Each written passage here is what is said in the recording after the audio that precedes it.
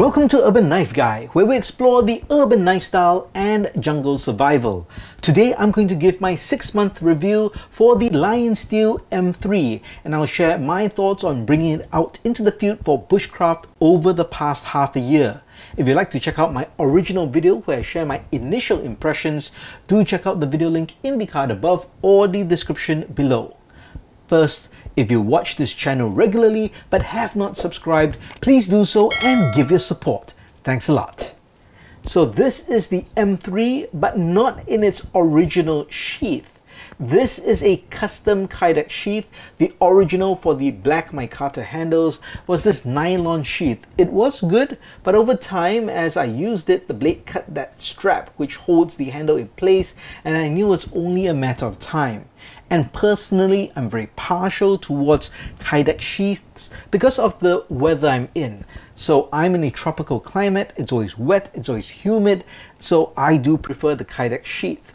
And this is one I had custom made and molded over my knife. So Kydex is a thermal plastic and the way they make this is to actually fold or heat up the plastic so that it's soft, then they fold it, mold it and shape it to the knife, give it a lock uh, so that it will never drop out.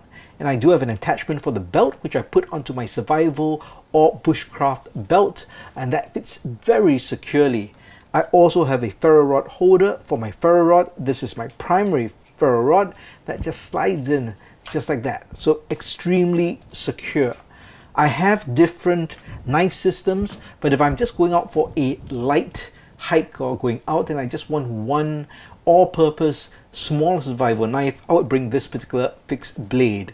Uh, I have added this fire cord, paracord. Uh, it's more for decoration, but again, I have a bit of cordage if I want, uh, really also for that tinder material inside. There is a drainage hole in uh, the design I specify, and this is again, we get a lot of rain here. If it does rain and water gets in, I want it to be able to drain so it's easier to dry out. Now the great thing about a Kydex sheath is you can deploy the knife with one hand when this is on your belt. You simply use the thumb ramp over here, give that a push, and you can remove the knife. So here we have the M3.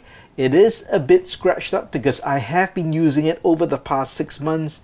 And what are my impressions now? I still like this knife. I like the blade shape, I like the size, I like the handle. The handle may appear quite thin, but it's actually very well designed. You can see there's a kind of a swell over here, and it's wide enough so that fits in the hand very comfortably. I have small to medium hands, but with or without gloves, I feel I've got a great purchase on this particular knife.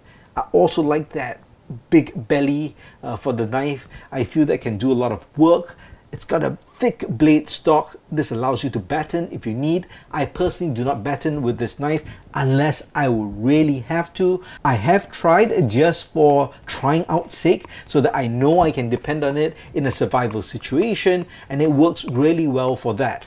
Now what I find it doesn't work as well as its sliciness. And that's because this is a very thick blade stock. It's 5mm. And even though this is a full flat grind, I find it's not as slicey as, of course, the thinner knives, like the Mora Companion, which is about 3mm. So obviously that will be much more slicey. So if you want to do feather sticks, the curls are going to be harder to get without uh, cutting them off and that's just the nature of the knife but you do want you know a beefy knife if you want to do other things you want an all-purpose knife so I've used this to cut off limbs of branches uh, debark uh, stuff, cut cordage, and just general use, a uh, heavy use, and then I definitely do want a thicker blade and I do enjoy that. But yes, I found that when I tried to do feather sticking and all, I don't get the same level of comfort or the thinness of those curls if I have to use my Mora knife or even a folder.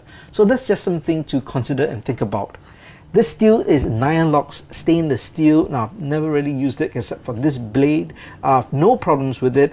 I've sharpened this only once and I strop it quite a bit, but there is a bit of a chip over here.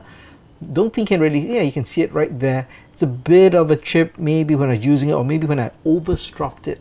I might have just made it a little uh, too keen so I will have to fix that.